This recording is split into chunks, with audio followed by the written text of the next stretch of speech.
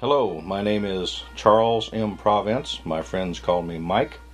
I am the founder and president of the General George S. Patton Jr. Historical Society. The society was begun in 1970. The initial purpose when I started the society was simply to honor the man who, in my honest opinion, never did receive a great amount of attention at the time that he really wanted it. Yes, I know everybody said he was a megalomaniac and he was a prima donna, but in fact, he probably deserved all of that because he was such a great man. He was not just a general. At any other point in time, three or four or five hundred years back in history, he would probably have been one of the great men in all of history. Patton was a man of rather contradictory characteristics, as a matter of fact. He was a noted horseman, a polo player. He was a well known champion swordsman. He was even in the 1912 Olympics, and during the Olympics, he had given the French champion the only defeat that he had received. He was a competent sailor, a sportsman. He was an amateur poet. Uh, some years ago, there was a fellow came out with a book uh, just specifically on Patton and his poetry. He was unpredictable in his actions, but he was always dependable. You knew that he was going to do what he was told to do, and he would do it right. He was outgoing, yet at times he was introverted. History proves him to be one of the most complex and possibly paradoxical figures ever to exist. He's mostly remembered for his unique brand of leadership. It was a role that he cultivated and fully exercised. Very often, his daughters would catch him in the bathroom in front of the mirror and he would be giving strange faces to himself. And they would say, Daddy, what are you doing? And he'd say, I'm practicing my war face. So when I go to war, I want those sons of bitches to be scared of me, by God. He managed to obtain a supreme effort from his men because he knew what it was like to be in battle. He knew what it was like to be in danger. He was scared himself, and he knew that going into battle was one of the most frightening things you could do. Not only are you in a foreign country, not only are you possibly tired and hungry, you haven't had sleep, and people are trying to shoot you too. He had had the same problems in World War One. He had been in a ditch, and he just happened to look up into the sky, and in the clouds, he thought that he had seen, or he said he had seen, whichever way you want to take it, he said he had seen the figures of his forebears, and they were looking down on him, and they were shamefully looking at him, saying, Georgie, Georgie, there you are lying down in that ditch, and you're going to die like a cowardly son of a bitch. Why don't you get up and at least die like a brave man? And he said he stopped shaking, and he shook it off, and that was it, and then he went on. And of course, he won the battle that day. That's what it's all about. It's not necessarily being afraid in battle, it's being able to control your fear. And that's what life is all about. Life, from the time you're born until the time you die, life is just one constant battle. And if you give in, then you're lost. If you give in to the fear, then you're lost. What you have to do is constantly stand up and fight back. All of this pretty much was built into him a little bit earlier. Benjamin Davis Wilson was General Patton's great grandfather. Benjamin Davis Wilson was also called by the Mexicans in early California Don Benito. Benjamin Davis Wilson was a trapper who had left Tennessee, worked his way over to California. He was a mountain man, he was a trapper, he had uh, fought bears and all sorts of things. It was, if you look at some of the old stories about Davy Crockett, well, Benjamin Davis Wilson was the type of Davy Crockett, if not more so. It was he, not President Wilson, after whom Mount Wilson in California was named. It was Benjamin Davis Wilson who actually created the citrus industry, the orange industry in California. He built the Episcopal Church of Our Savior in San Gabriel before it was San Gabriel. It was the same church where George S. Patton, after being born, was taken in and baptized. The same church where today there is a stained glass window to honor General George S. Patton. There is a eight foot or nine foot bronze statue of General George S. Patton. Also in the graveyard next to the church, there's the monument to Don Benito Wilson, there's also the graves of General Patton's father, George Patton, his mother, and his aunt, and his sister.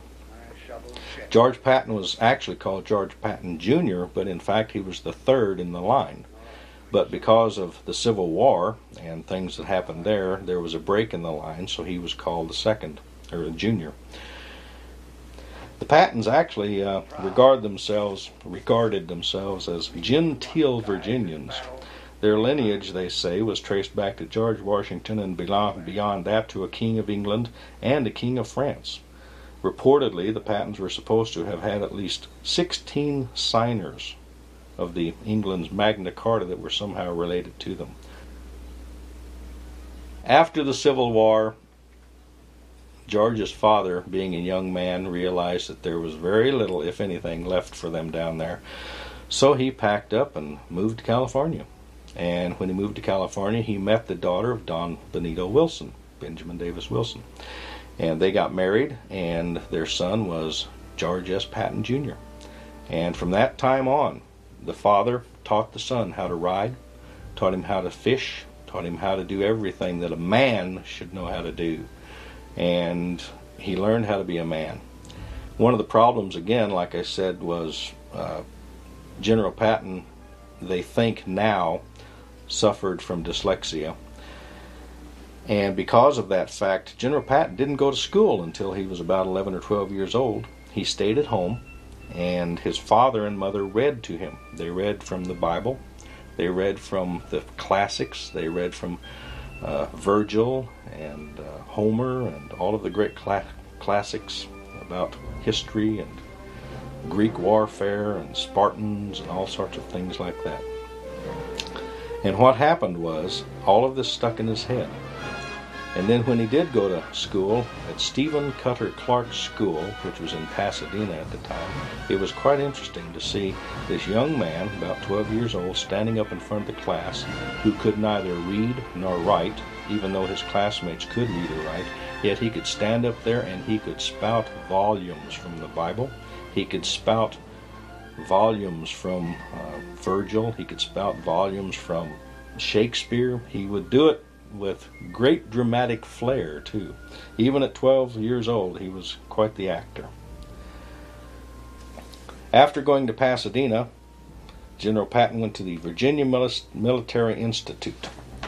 And now, at VMI, he only spent one year there. And the reason he only spent one year there was because his father was in the background and he was working feverishly with the California senators and representatives trying to secure a place for George Patton at West Point. And it took him about a year to do so. But finally, when it happened, he had spent a year at VMI, so he knew what it was like to be a plebe. Actually, Patton probably had about three years of being a plebe, which is pretty rough. He was at West, uh, he was at VMI for a year, and then he went to West Point. And the first year as a plebe was really rough for him.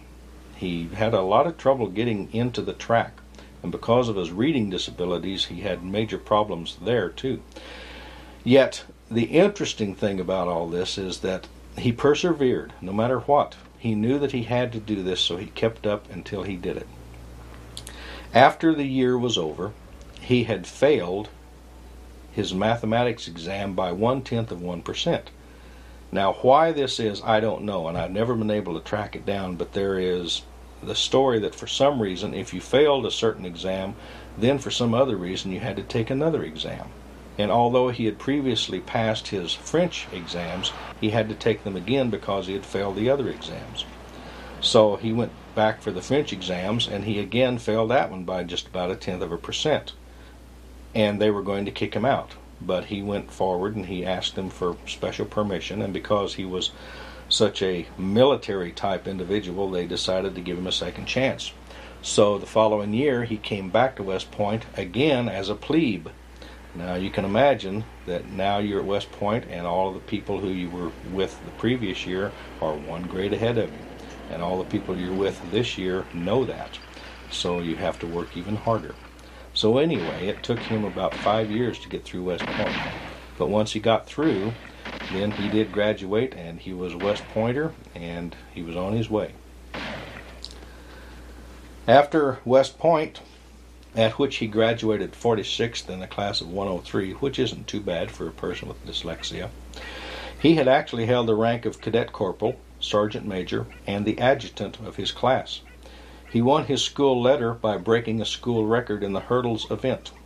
He had tried to break records and to play football and baseball, but when he was playing football, he broke his nose twice. He broke both arms, and they quit letting him play football after that because he was just he was just too adamant about it. He just put too much into it, and he would hurt himself. But he was good at track, so that's where he got his letter. Upon graduation, he chose the cavalry because he thought it would be an exciting way to go into the army. After graduating and becoming cavalry officer, he met a young lady, or actually he had met this young lady way back when she was just about a little 12 or 13 year old girl. Uh, the Ayer family had property back in California. He had met Beatrice when she was just a child and almost instantly fell in love with her. And it kind of bothered him for the rest of his life because he knew that when she grew up, even though, of course, you can't marry someone when they're 12 or 13, but he knew that there was something special about this girl. And all through his career at West Point, she kept coming down to visit him. And after they finally got married, then they started their own family. Her father was against the marriage because he didn't like the idea of a man being in the military. He didn't like the idea of a soldier being married to his daughter. So Patton wrote a letter to his father, to her father one day, and explained to him that he could not explain why, but for some reason it was just as natural for him to be a soldier as anything else. And if he couldn't be a soldier, then he had no reason to live. Therefore, that was what he wanted to do, and that was what he wanted to be. And her father acquiesced, and then they got married. And, and uh, later on in 1912, Patton attended the Olympics held at Stockholm, Sweden. That was the same year that Jim Thorpe was given all the medals Patton competed in the modern pentathlon, the military pentathlon they called it then.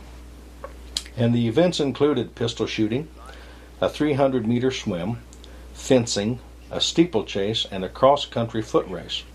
He finished a very respectable fifth place. What was interesting was during the trials for the pistol shooting, he had set a record. Yet, whenever they actually had the day of competition, they said that he had missed one of the targets. Now the story goes that actually when they looked at the target, his his pattern of shots was so close that very probably one of the bullets went through one of the other holes or close to it, and they couldn't discern that there was another hole missing there. So that's the problem. They couldn't see all of the holes, so they assumed that he had missed, even though he had set a record just the previous day for his shooting and that pushed him down. So otherwise, had he not uh, gotten that, he would have won. He would have gotten a gold medal for the Olympics for that year. After the games and at his own expense, Patton and his wife traveled to the French Cavalry School located in Saumur, France. He was going to take lessons from the fencing instructor there.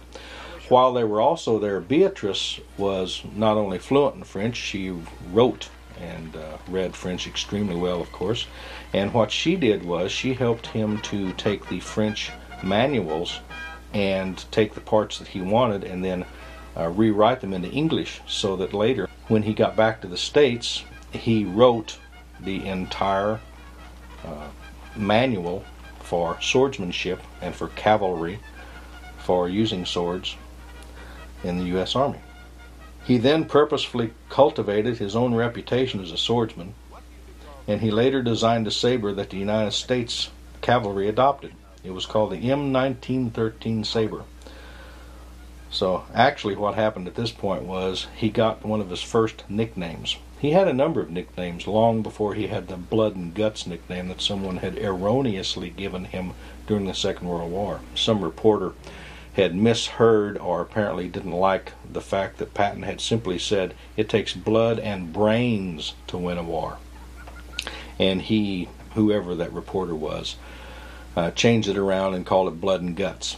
So that's what stuck. But before that, At the time that Patton had created his M1913 Sabre, he was then called Sabre George, and that was an interesting thing for a very young second lieutenant in the Army to have a great distinction like that.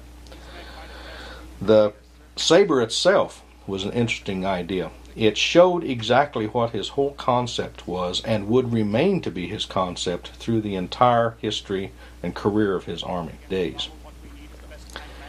What he wanted to do was teach men, instead of taking the curved saber they had before and trying to hack men to death, you would take the saber, hold it in your arm, extend your arm, lay down on your horse's neck at a full gallop, and then, as a full, complete weapon, you, your horse, and your saber fully extended and pointed whenever you hit your opponent. That was pretty much it. Your opponent was dead. There was no question about it. And as he would tell his men, says, don't worry about whether or not you're going to disengage with the enemy. You just, as you go forward, you'll automatically bring your hand down, and the sword, designed with the rivulets, the blood rivulets on both sides, it will automatically disengage and pull from the enemy. Therefore, you can go on and get the next man in line. And that was his whole concept straightforward, direct. That was the way that you won battles. When he was assigned to the cavalry school at Fort Riley, Kansas, he then took over the instruction of the cavalry course. He instructed his men both in the use of the new saber he designed, and he instructed them in horsemanship too. At this time, he was given an impressive title. It was called the Master of the Sword. He was the very first to hold the newly created title. It was quite a bit for a, a young second lieutenant. In March of 1916, Pancho Villa raided the town of Columbus, New Mexico. They killed a total of 17 American citizens. They had actually crossed the border. They had committed an act of war. And then sometimes people today wonder why Americans went down to Mexico. They forget the fact that they had committed an act of war. In response to the raid, General John J. Pershing, called Blackjack Pershing, organized a punitive expedition to pursue Villa into Mexico. It is said at the time that uh, Pershing had already put together his staff and they were getting ready to go. And when Patton heard about it, he wanted to know why he couldn't go along. So what he did was he just simply camped out on General Pershing's doorstep. And every single time the general would come or go, he would see Patton, and Patton would stand and salute and say, Sir, requesting permission to go. And finally, Pershing realized, well, I guess if he wants to go that bad, he may have some good attributes about him. During May, Patton was in charge of a 15 man contingent traveling in three Dodge touring cars. The purpose for the trip was to buy corn from Mexican farmers for the American soldiers. Patton supposedly was re- relying purely on a hunch and what he did then, he led a little raid at a place called the Rubio Ranch. He believed that one of Villa's men might be there. As it turned out, not one but three of the enemy were actually there. And during the, their attempted escape, Patton and his men engaged them in a lively skirmish. All three of the bandits were killed. Patton personally was responsible for dispatching two of them. And that's why on his Colt 45 with the ivory handles, not pearl handles, on his Colt 45 he put two notches. He had personally, as a soldier, dispatched two enemy. He had killed two men with that gun. That gun, if you ever want to see it, by the way, is on display with the other gun that he carried, the Smith & Wesson 357 Magnum. They're both on display at the Patton Museum at Fort Knox, Kentucky. It's a wonderful museum, beautiful place. After the bandits had been taken care of, Patton triumphantly strapped the bodies onto the motor cars, one on each hood. He then took them directly to Pershing's headquarters for identification. He created quite a commotion there. He had gone in and broken up a meeting that Pershing was having, and Pershing was really not very happy because he didn't like people coming in and interrupting him when he was doing something. But Patton said, Sir, if you please come outside here, you'll see why I'm bothering you. And then when Pershing walked out and saw the three bandits strapped on there like like dead deer that had been shot as trophies, then he realized what he had on his hands there. And it was interesting too because Lieutenant Patton immediately became a national hero. This was one of the things that kind of uh, started his desire for fame, I suppose, because he had become a national hero. Newspapers in the United States had carried stories about his exploits, and for a full week he had his picture in the papers all over the United States. Stories were mentioned where his name was prominent all over the United States, and it was quite an interesting time for the young man.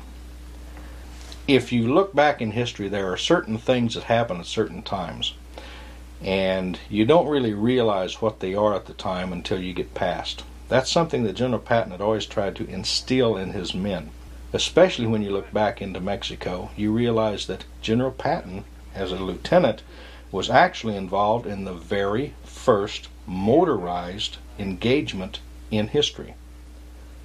He had taken motorized uh, warfare to the enemy, and he had dispatched the enemy, and then he had, with motorization, he had taken the, the bodies back, of course, and showed Pershing.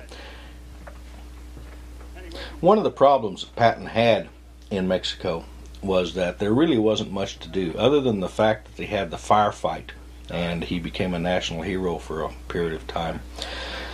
Uh, Mexico duty was really pretty rough. It was hot, it was dirty, um, it was boring, it was monotonous.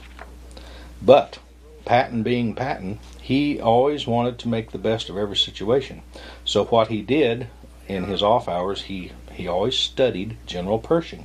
And what he did in the past, in the next few years, he started to try to take the better qualities of Pershing and put them into his personality, yet retain his personality and his focus for combat. When Pershing assumed command of the American Expeditionary Force going to France in World War I, because he had known Patton and he had known what he had done, he took Patton with him, of course. Now, the problem again was Patton was stuck in the headquarters office with Pershing, and it was a boring, tiresome office job. At that time, a fellow by the name of Swinton, who was an Englishman, he created what was called a tank. And the tank and the whole concept of tank warfare became a very interesting concept to General Patton. He realized if this were done correctly, then we could take this tank and we could actually use our cavalry tactics for speed and boldness and put it into the tank corps, and then we could really make something out of this. He knew that the tanks were not only new, they were also unreliable, they were unwieldy, and they were unproven instruments of warfare. But he knew that if you did it right, if you could take these tanks and really come up with a good tactic, a good concept, and use them correctly, then they would be something special. Patton was then assigned as the very first officer to the United States Tank Corps. Why he was not given co- complete control of it, I don't know, but uh, at the time he was only a colonel, and of course, the, as always, they wanted a general in charge of something, so they found a general and put him in charge of it and put Patton under him. But Patton was actually the one who ran the tank corps. Patton almost single handedly formed the American Tank School. He wrote the training manuals, he devised the training doctrine and methodologies. He wrote the seminal paper which became the basis for the United States Tank Corps. He taught and trained his tankers, and he eventually led them into combat. The paper that he wrote, as a matter of fact, I have a copy of it, and on the very front of the paper, he, in his own handwriting, wrote down that this is the best technical paper I ever wrote, and it was, in fact, the basis for the entire United States Tank Corps. On the first day of the Meuse Argonne offensive, Patton was very nearly killed. A bullet struck him in the upper leg, passed completely through him, and on its exit, it ripped out a large piece of flesh from his buttock. Uh, it tore a large hole in the rear of his lower cheek. But Patton, again being Patton, in spite of his profuse bleeding, he kept advancing until the loss of blood forced him to stop.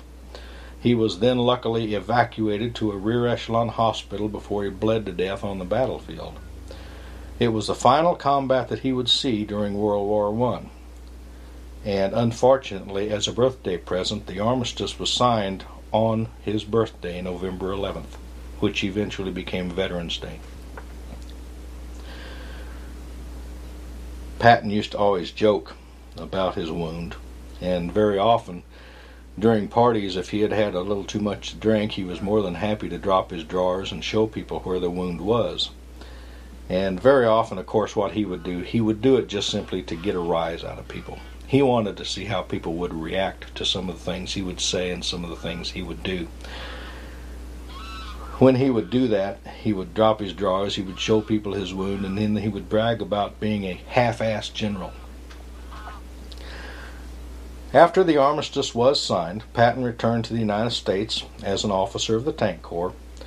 But shortly after that, because the Tank Corps was being uh, pretty much ignored by Congress, they had no money, uh, he returned to the cavalry because the cavalry was his first love. The major reason, of course, for his departure from the Tank Corps was the stinginess of the United States Congress, which is a continual thing. If you look at what's happened after World War I, after World War II, after Korea, after almost every war we've been involved in, they think that that's the end of it, and then they cut back and they destroy the military. But anyway, after Congress allotted a total of $500 for a full year's worth of research and development for the Tank Corps, Patton realized that during the years of peace there would be no American development of the tank. And he was absolutely correct. It was other people who would develop the tank. In the early 1930s, Patton did not remain static, of course. While he was stationed at Pearl Harbor, he wrote a very highly prophetic discussion paper. Its subject matter dealt with the possibility of an air attack by the Japanese against the Hawaiian Islands. Patton held the firm opinion that Japan had explicit and definite ideas about domination of the Pacific Basin. His paper outlined almost exactly the plan that was used by the Japanese on December 7, 1941. He had written the paper, he had given it to the G2 intelligence officer, and apparently it had been just stuffed away somewhere, filed, and never looked at. In 1939, of course, things began to happen. Hitler had taken over Germany. The Sudetenland had been taken. Austria had been taken. By 1939, Poland was in distress. Patton was then assigned to the 2nd Armored Brigade, stationed at Fort Benning, Georgia. His skillful management of the 2nd Brigade soon prompted his being given command of the entire 2nd Armored Division. He was soon considered to be, again, America's leading tank expert. It was the second time that he had had to prove himself for this but he did it, as always. In 1942, General Patton was assigned the task of creating the Desert Training Center, called the DTC, in the Mojave Desert. The Desert Training Center incorporated most of the Mojave Desert, and it was everywhere between perhaps the southern middle, uh, southern middle half of California, all the way through Arizona, up into uh, Nevada. Actually, the whole Desert Training Center, the area in mileage alone, acreage, was larger than uni- the United Kingdom, Great Britain. But General Patton was out there, and he figured that what I'm going to do is, since we're going to invade North Africa, our men had better know what it's like to be in the desert. So he went to the desert and he trained his men. At best, it was about 115 or 120 degrees outside the tanks, so you can imagine what it was like inside the tanks. The men were given a gallon of water a day, and they were told you can shave with it, you can drink it, you can do whatever you want to with it, but that's all you're getting. And he spent a lot of his time out at the DTC creating the U.S. tank doctrine and tactics that were going to be used in North Africa. And by the time they got ready, and by the time they were overseas and at North Africa, they were glad to be in North Africa. Thing it was easier there than it was under Patton at the DTC. There were rattlesnakes, there were scorpions, it was hot, it was dusty, it was pretty nasty weather. If you want to see a little history about the Desert Training Center, if you go to Indio, California, or if you're in Indio, California, and you head due east on Highway 10, about 35 miles later, and you can't miss it if there's nothing else there, there is a place called the General Patton Memorial Museum. Very often people will ask, well, why in the world did they put a Patton Museum out there? And that's exactly the reason, because General Patton was the one who created the Desert Training Center, and that is where Camp Young was located. Camp Young, of course, was the headquarters for the entire Desert Training Center. After General Patton left, General Walton Walker had taken over command of the area, and after he had trained his men, took them over to England and then onto the continent, he became the commanding general of the 20th Corps, which was under Patton's Third Army. And General Walton Walker's men were also called the Ghost Corps, the 20th Corps, which also spearheaded the entire Third Army during the Second World War. So there's a lot of history out there at that museum. In the spring of 1943, after the disastrous American defeat at Kasserine Pass in Tunisia, Patton was given command of the Second Corps. In customary Patton fashion, he not only took command, he grabbed it by the throat. He let people know exactly what was going on and who was in charge. Patton quickly straightened out the disorganized American units, led them to victory at El Guettar, and then turned over command of the Corps to his deputy commander, Omar Bradley. As commanding general of the 7th Army, General Patton and his soldiers stole the glory that General Montgomery so badly wanted. Hampered by higher echelon, sparse supplies, and forced to use secondary roads, in spite of all that, Patton and the 7th Army still managed to reach Messina first, now, this is something in the movie that you'll notice that they have Patton and all of his men and the tanks and everything there. In fact, that's not really true. Uh, they did beat them to Messina, but they got there just a little bit before, maybe a, a few hours before. The slapping incidents. Every time I think about this, I just think how silly it is when they were at the front, if a man turned tail and ran, that's one of the reasons why officers had 45s on them. Men were actually shot at the front because of cowardice. Nobody asked questions. Yet one man slaps a couple of soldiers, and they almost ruin his career over that. Which is interesting because the Russians certainly would never care about that. And the Germans just absolutely could not believe that just because a general was a little upset and he got a little emotional and he struck someone, that they would actually take him out of combat because of that. At any rate, there were two men slapped, not just one. And it's interesting to note that during the slapping incidents, one of the men believe it or not, had left his unit without permission. He had gone on sick call without permission. He was, in fact, AWOL at the time. No one knew where he was. He was just sitting there waiting for someone to ask him what his problem was. And that's one of the men that unfortunately Patton came in contact with. So the fact of the matter is, because the man was AWOL, they could have court-martialed him. They could have stood him up and shot him as a deserter, but that never came to light. The other man had had major problems. He had run away a number of times anyhow, and Patton never really, if we want to get technical, like they get technical in the courtrooms today, Patton never really did slap the men. He struck them with his gloves he personally never came into contact with them.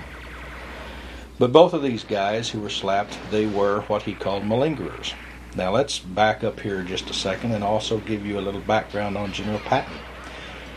General Patton had been receiving reports that some of the men, upon landing in Sicily, had been taking off their uniforms and throwing them away, getting clothes from some of the locals, and trying to act like they were part of the inhabitants of the island he was getting reports which may sound humorous on the front, but really is not very humorous, that back in the old days, the U.S. Army used to manufacture their own soap.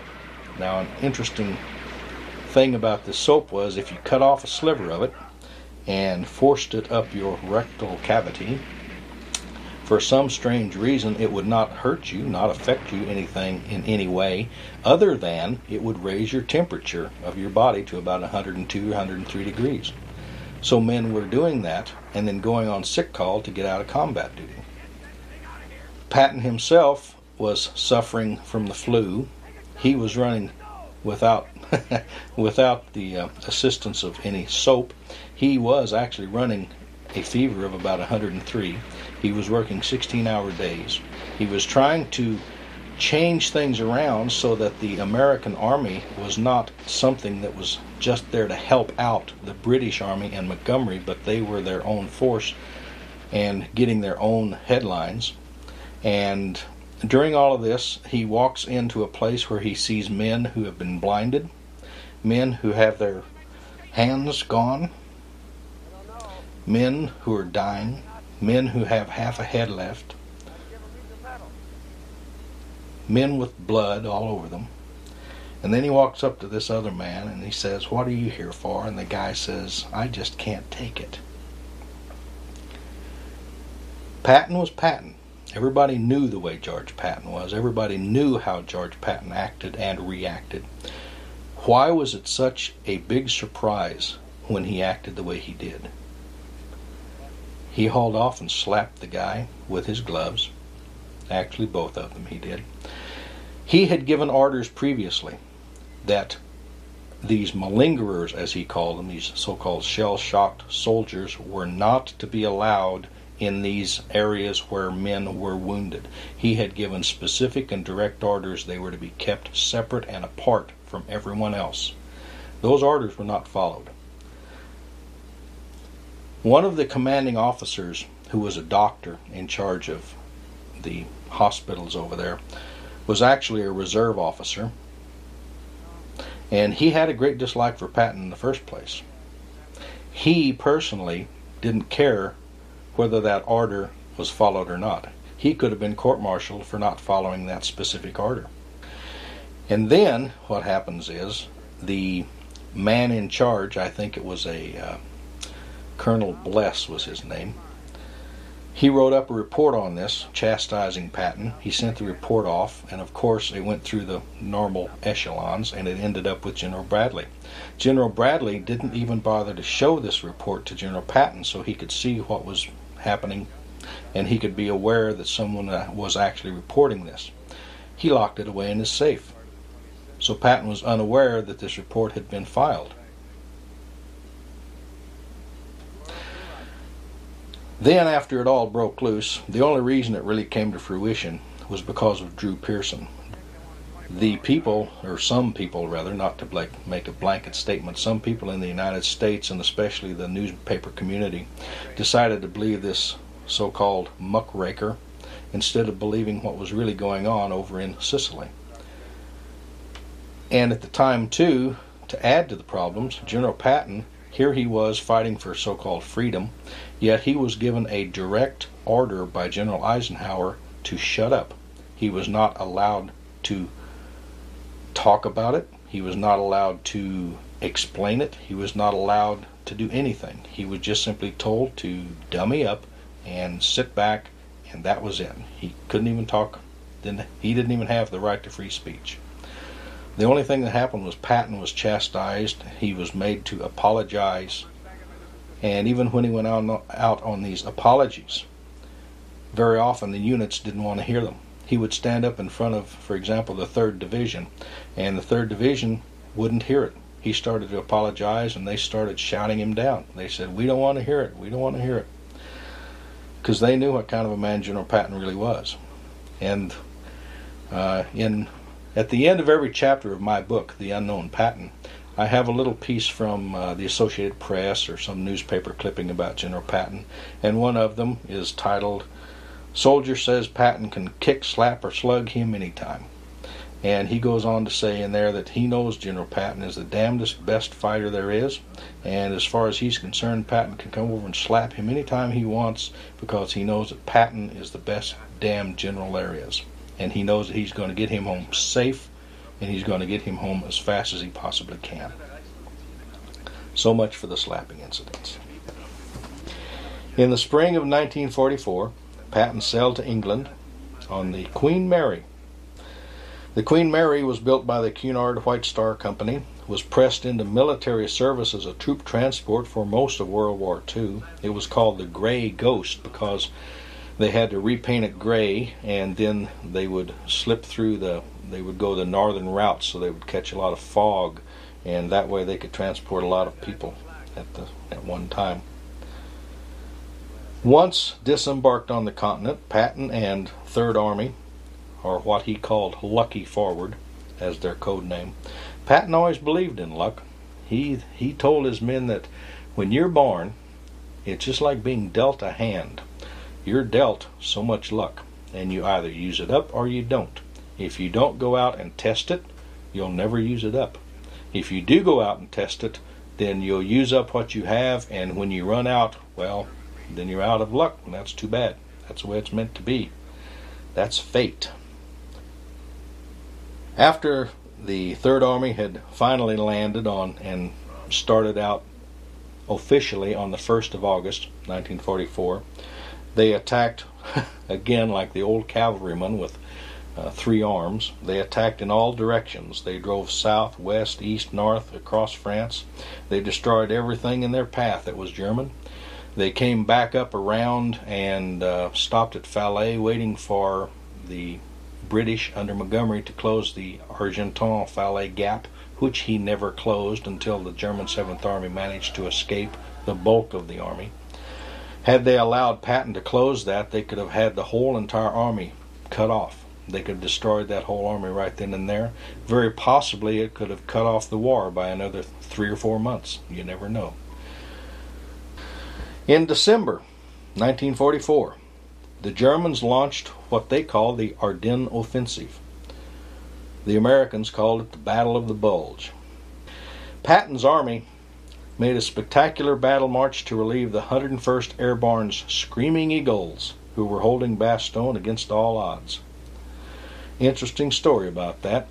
When Patton was over there, and they knew that something was going on because every single time that the Germans had radio silence, it meant that there was going to be some major operation coming into effect.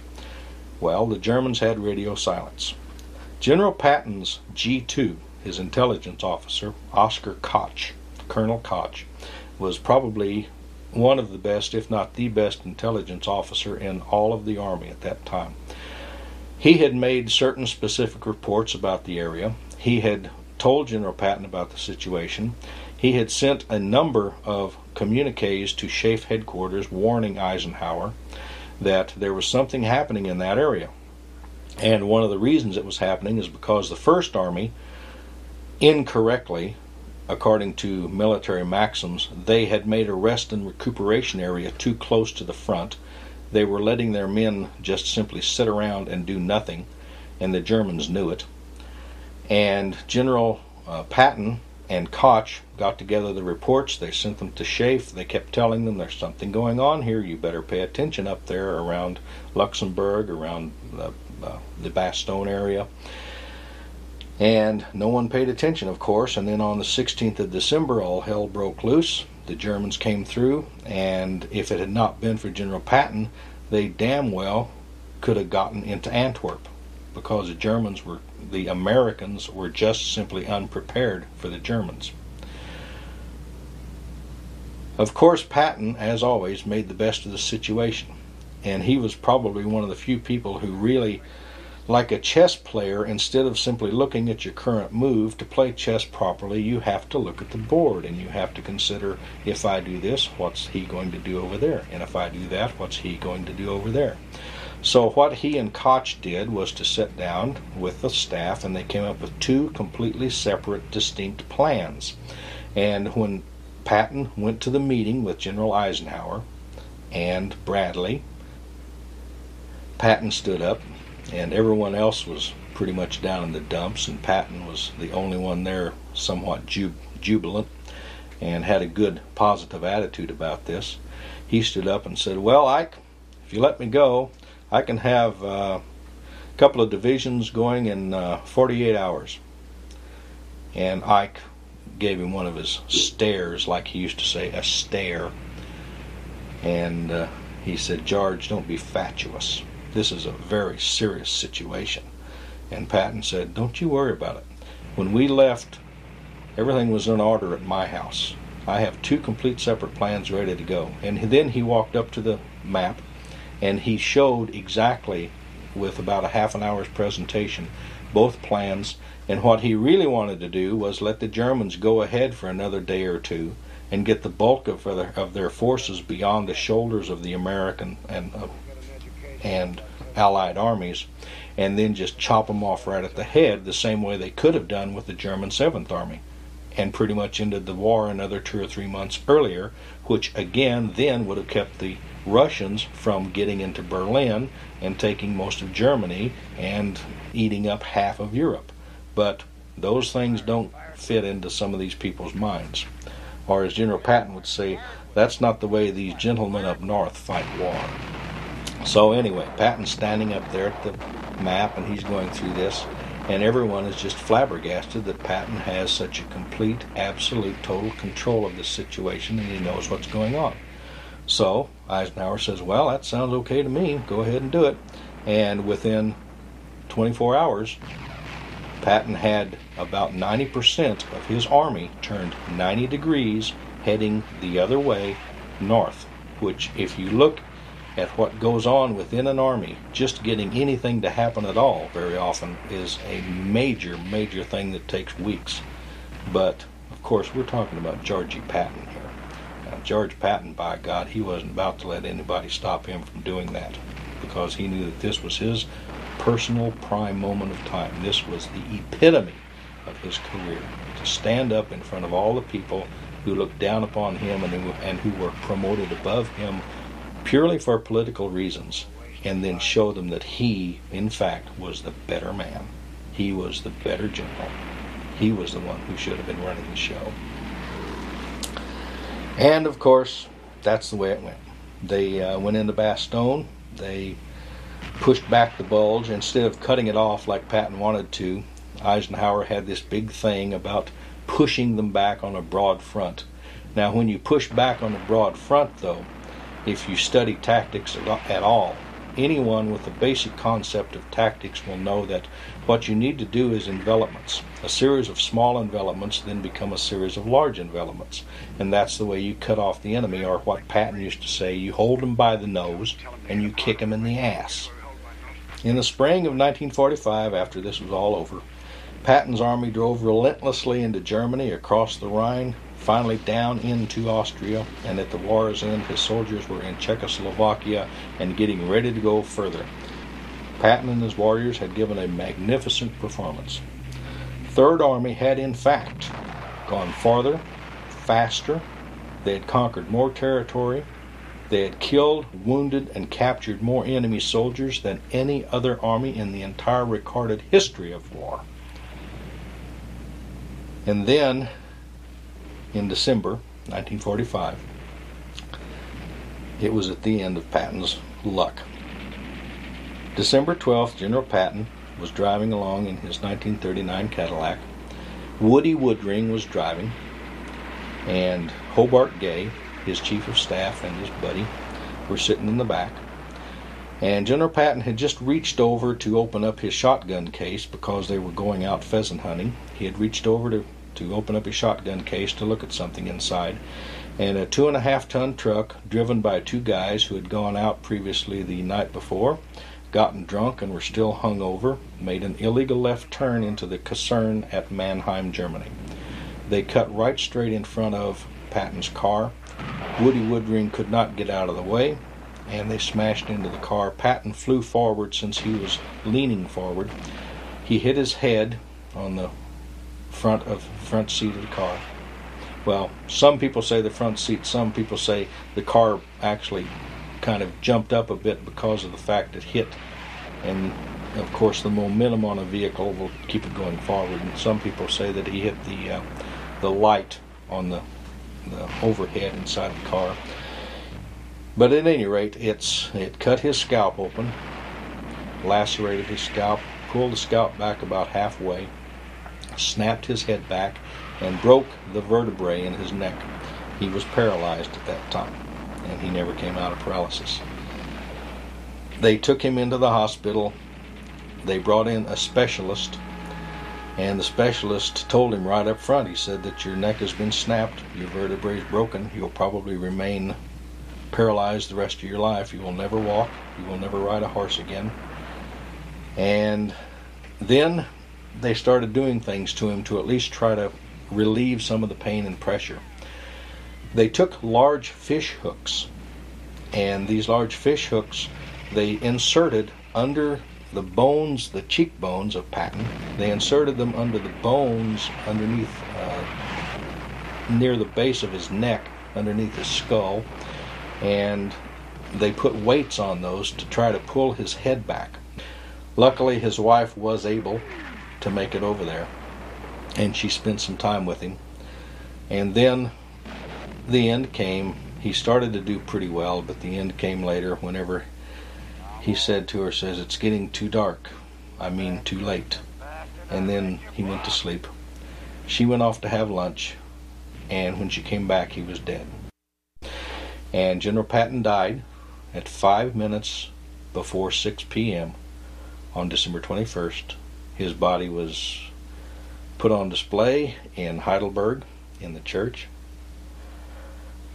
he was put on a train and he was taken to the American Military Cemetery at Hamm, Luxembourg, and he was buried among his men. People often ask, well, why was he buried over there? Why wasn't he brought back home like all officers? General Walker had mentioned to Beatrice that, you know, George always said he wanted to be with his men. So she said, well, of course, that's the simple answer. That's where he should be.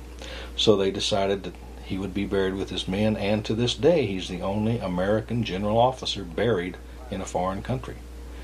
Where he was buried among the other 4,000 graves which still exist there at that cemetery, graves of men who apparently uh, were single or men who just simply didn't have anyone because they were never claimed, their bodies were never claimed, or there was no one to report their deaths to. They're still over there in the foreign country, buried in the country where they fought for the freedom, for the people, for that country.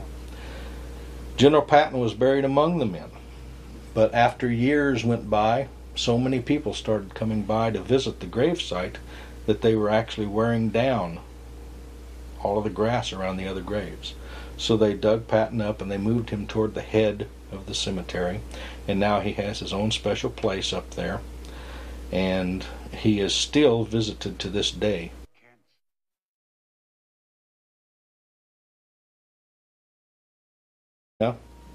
General Patton went to the Virginia Military Institute.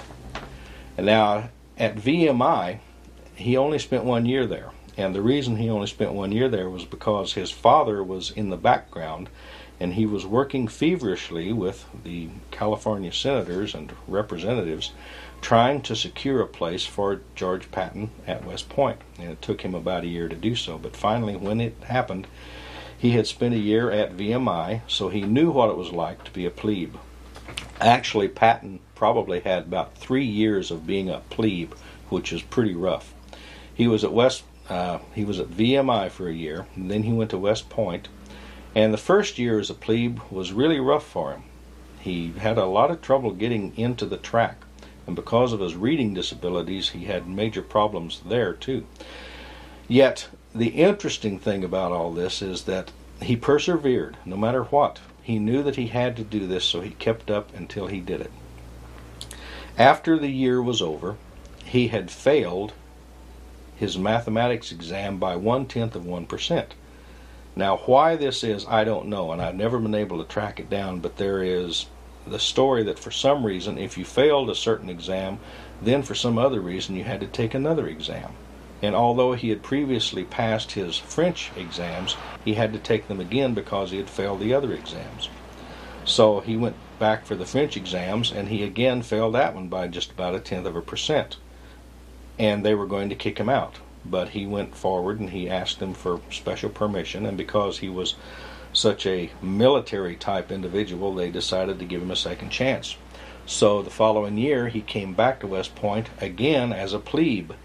Now you can imagine that now you're at West Point, and all of the people who you were with the previous year are one grade ahead of you, and all the people you're with this year know that. So you have to work even harder. So anyway, it took him about five years to get through West Point. But once he got through, then he did graduate, and he was a West Pointer, and he was on his way. After West Point, at which he graduated 46th in the class of 103, which isn't too bad for a person with dyslexia, he had actually held the rank of cadet corporal, sergeant major, and the adjutant of his class. He won his school. Hello, my name is Charles M. Province. My friends call me Mike. I am the founder and president of the General George S. Patton Jr. Historical Society. The society was begun in 1970. The initial purpose when I started the society was simply to honor the man who, in my honest opinion, never did receive a great amount of attention at the time that he really wanted it. Yes, I know everybody said he was a megalomaniac and he was a prima donna, but in fact, he probably deserved all of that because he was such a great man. He was not just a general. At any other point in time, three or four or five hundred years back in history, he would probably have been one of the great men in all of history. Patton was a man of rather contradictory characteristics, as a matter of fact. He was a noted horseman, a polo player, he was a well known champion swordsman. He was even in the 1912 Olympics, and during the Olympics, he had given the French champion the only defeat that he had received. He was a competent sailor, a sportsman. He was an amateur poet. Uh, some years ago, there was a fellow came out with a book uh, just specifically on Patton and his poetry. He was unpredictable in his actions, but he was always dependable. You knew that he was going to do what he was told to do, and he would do it right. He was outgoing, yet at times he was introverted. History proves him to be one of the most complex and possibly paradoxical figures ever to exist. He's mostly remembered for his unique brand of leadership. It was a role that he cultivated and fully exercised. Very often, his daughters would catch him in the bathroom in front of the mirror and he would be giving strange faces to himself and they would say daddy what are you doing and he'd say, I'm practicing my war face. So when I go to war, I want those sons of bitches to be scared of me, by God. He managed to obtain a supreme effort from his men because he knew what it was like to be in battle. He knew what it was like to be in danger. He was scared himself, and he knew that going into battle was one of the most frightening things you could do. Not only are you in a foreign country, not only are you possibly tired and hungry, you haven't had sleep, and people are trying to shoot you too. He had had the same problems in World War One. He had been in a dip letter by breaking a school record in the hurdles event. He had tried to break records and to play football and baseball, but when he was playing football, he broke his nose twice. He broke both arms, and they quit letting him play football after that because he was just he was just too adamant about it. He just put too much into it, and he would hurt himself. But he was good at track, so that's where he got his letter. Upon graduation, he chose the cavalry because he thought it would be an exciting way to go into the army. After graduating and becoming cavalry officer, he met a young lady, or actually he had met this young lady way back when she was just about a little 12 or 13 year old girl. Uh, the Ayer family had property back in California, he had met Beatrice when she was just a child and almost instantly fell in love with her. And it kind of bothered him for the rest of his life because he knew that when she grew up, even though, of course, you can't marry someone when they're 12 or 13, but he knew that there was something special about this girl. And all through his career at West Point, she kept coming down to visit him. And after they finally got married, then they started their own family. Her father was against the marriage because he didn't like the idea of a man being in the military. He didn't like the idea of a soldier being married to his daughter. So Patton wrote a letter to his father, to her father one day, and explained to him that he could not explain why, but for some reason it was just as natural for him to be a soldier as anything else. And if he couldn't be a soldier, then he had no reason to live. Therefore, that was what he wanted to do, and that was what he wanted to be. And her father acquiesced, and then they got married in and uh, later on in 1912, Patton attended the Olympics held at Stockholm, Sweden. That was the same year that Jim Thorpe was given all the medals. Patton competed in the modern pentathlon, the military pentathlon they called it then. And the events included pistol shooting, a 300 meter swim, fencing, a steeplechase, and a cross country foot race. He finished a very respectable fifth place. What was interesting was during the trials for the pistol shooting, he had set and he just happened to look up into the sky and in the clouds he thought that he had seen or he said he had seen whichever way you want to take it he said he had seen the figures of his forebears and they were looking down on him and they were shamefully looking at him saying georgie georgie there you are lying down in that ditch and you're going to die like a cowardly son of a bitch why don't you get up and at least die like a brave man? And he said he stopped shaking and he shook it off, and that was it. And then he went on. And of course, he won the battle that day. That's what it's all about. It's not necessarily being afraid in battle, it's being able to control your fear. And that's what life is all about. Life, from the time you're born until the time you die, life is just one constant battle. And if you give in, then you're lost. If you give in to the fear, then you're lost. What you have to do is constantly stand up and fight back. All of this pretty much was built into him a little bit earlier. Benjamin Davis Wilson was General Patton's great grandfather. Benjamin Davis Wilson was also called by the Mexicans in early California Don Benito. Benjamin Davis Wilson was a trapper who had left Tennessee, worked his way over to California. He was a mountain man. He was a trapper. He had uh, fought bears and all sorts of things. It was, if you look at some of the old stories about Davy Crockett, well, Benjamin Davis Wilson was the type of Davy Crockett, if not more so. It was he, not President Wilson, after whom Mount Wilson in California was named it was Benjamin Davis Wilson who actually created the citrus industry, the orange industry in California. He built the Episcopal Church of Our Savior in San Gabriel before it was San Gabriel.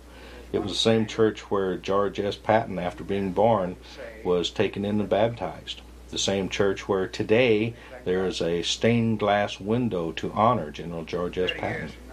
There's a eight foot or nine foot bronze statue of General George S. Patton also, in the graveyard next to the church, there's the monument to Don Benito Wilson. There's also the graves of General Patton's father, George Patton, his mother, and his aunt, and his sister. George Patton was actually called George Patton Jr., but in fact he was the third in the line. But because of the Civil War and things that happened there, there was a break in the line, so he was called the second, or the junior. The Pattons actually uh, regard themselves regarded themselves as genteel Virginians.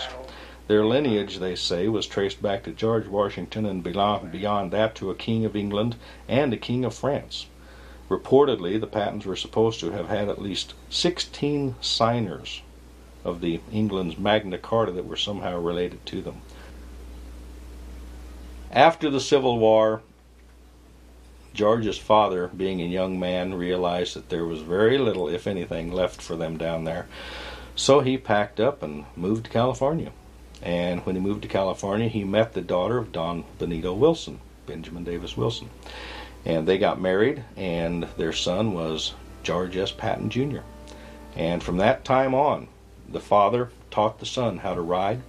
taught him how to fish, taught him how to do everything that a man should know how to do. And he learned how to be a man. One of the problems, again, like I said, was uh, General Patton, they think now, suffered from dyslexia. And because of that fact, General Patton didn't go to school until he was about 11 or 12 years old. He stayed at home, and his father and mother read to him. They read from the Bible, they read from the classics, they read from uh, Virgil and uh, Homer and all of the great cla- classics about history and Greek warfare and Spartans and all sorts of things like that. And what happened was, all of this stuck in his head. And then when he did go to school at Stephen Cutter Clark's school, which was in Pasadena at the time, it was quite interesting to see this young man, about 12 years old, standing up in front of the class who could neither read nor write, even though his classmates could read or write, yet he could stand up there and he could spout volumes from the Bible. He could spout volumes from uh, Virgil. He could spout volumes from Shakespeare. He would do it with great dramatic flair, too. Even at 12 years old, he was quite the actor. After going to Pasadena,